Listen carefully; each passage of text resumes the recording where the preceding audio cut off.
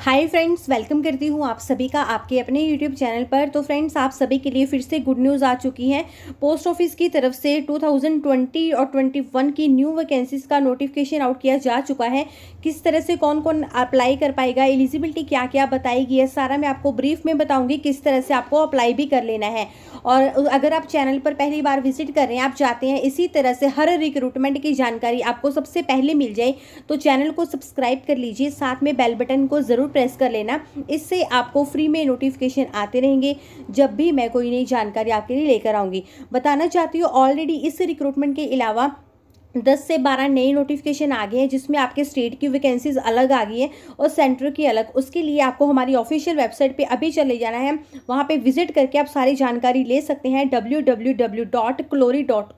जिसका लिंक आपको इस वीडियो के डिस्क्रिप्शन में जाकर मिल जाएगा और आप स्क्रीन पर भी वेबसाइट देख पा रहे हैं। इसको आप गूगल पर भी डायरेक्ट टाइप कर सकते हैं। फ़र्स्ट नंबर पर हमारी ही ऑफिशियल साइट आएगी वहाँ पे आप लेटेस्ट वैकेंसीज को चेक कर सकते हैं। हर रिक्रूटमेंट के लास्ट में आपको हाउ टू अप्लाई और जनरल इंस्ट्रक्शन नज़र आएँगे। वहाँ पे आपको प्रॉपरली गाइड किया गया है किस पोस्ट के लिए किस तरह से आपको अप्लाई कर लेना है। और लास्ट में आपको लिंक नज़र आएँगे लेटेस्ट वैकेंसीज के जो इसके अलावा आउट हुई है और स्टडी मटीरियल का लिंक आपको नज़र आएगा। वहाँ से आप स्टडी मटीरियल डाउनलोड कर सकते हैं। किसी भी जॉब को अप्लाई करते वक्त कुछ भी प्रॉब्लम आ रही होगी, आप कमेंट करके पूछ सकते हैं, ठीक है?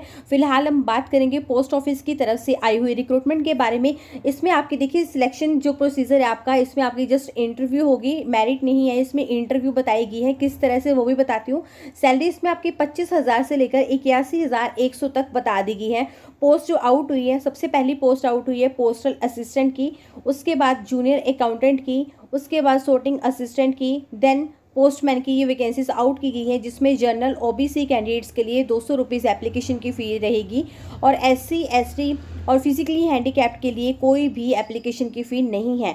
पेमेंट मोड जो है, वो आपको डीडी बनाना है, यानी कि डिमांड ड्राफ्ट बनवाकर इनके एड्रेस पे भेजना है। किस तरह से वो भी बताती हूँ। टेंथ ट्वेल्थ ग्रेजुएशन वाले यहाँ पे अप्लाई कर सकते हैं। जैसे चार तरह की पोस्ट है, किसी के लिए टेंथ मांगी है, किसी के लिए ट्वेल्थ, किसी के लिए ग्रेजुएशन, ठीक है? अठारह से सताईस साल आपकी एज है, आप अप्लाई कर सकते हैं। और नोटिफिकेशन में ये देखिए लास्ट जो लिंक है official notification with application form यहाँ पे जब आप क्लिक करेंगे नोटिफिकेशन डाउनलोड हो जाएगा, उस पर इन्होंने एड्रेस भी लिखा हुआ है, किस एड्रेस पे आपने अपने रिक्वायर्ड डॉक्यूमेंट भेज देने हैं, छब्बीस फरवरी से पहले पहले ठीक है? सो जल्दी से अप्लाई कर लीजिए, कोई प्रॉब्लम आ रही होगी, आप कमेंट करके पूछ लेना। यहाँ क्लिक करके आप स्टडी मटेरियल डाउनलोड कर सकते हैं। वीडियो को कीजिएगा लाइक, शेयर, थैंक्स